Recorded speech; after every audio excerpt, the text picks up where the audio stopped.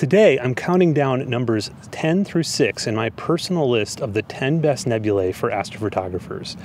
In making my choices, I tried to pick ones that are crowd favorites because of their visual impact and ones that I thought would be possible for many people across the world to capture and also offer a lot of potential for creativity in capture and processing. Number 10 is the Helix Nebula. This is a planetary nebula that is one of the biggest in the night sky of all the planetary nebula, and I also think one of the most beautiful.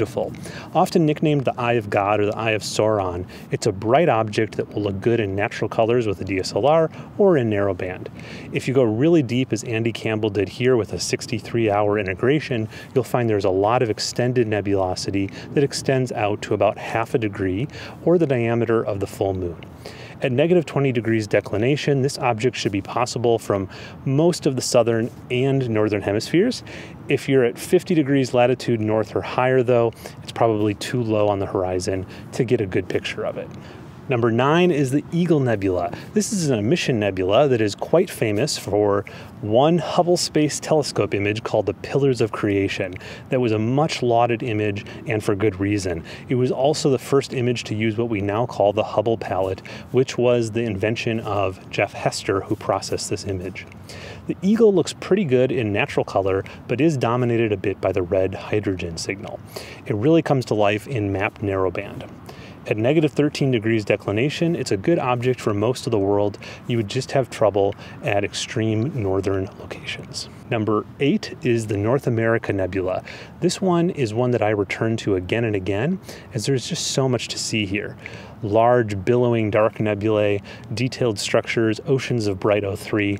It's one of my favorite regions to explore with narrowband filters as it is very structured in all three of the main filters that we use, HA, O3, and S2. At plus 44 degrees in declination, it's very much a northern hemisphere object.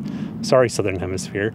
But for me, at 45 degrees latitude here in Boston area, that means I get to see it for many months out of the year, and next month it will actually be transiting straight overhead at the zenith, which is the darkest part of the sky uh, and the best place to shoot a deep sky object. I'll also mention I'm not going to include the Pelican Nebula as a separate entry since it's right next to North America, but it's an awesome nebula in its own right.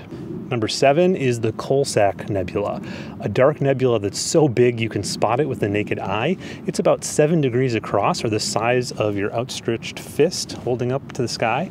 Um, and it's also easy to spot because it's right next to the Southern Cross. Sounds completely amazing, but I've yet to visit the southern hemisphere since I started astrophotography, so I haven't shot it. But this nebula is one of the first on my list when I do. At negative 62 degrees declination, it's only visible from the southern hemisphere.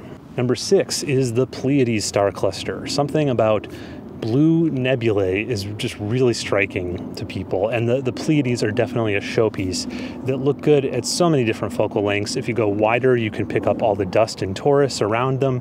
If you go more zoomed in, you can pick up all the beautiful detail and the nebulosity that connects the cluster stars.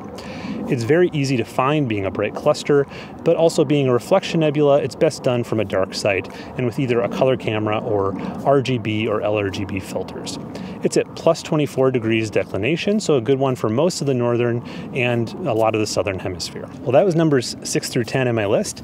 To find out the rest, numbers 5 through 1, you'll have to join me for next week's installment of 5 Minute Fridays.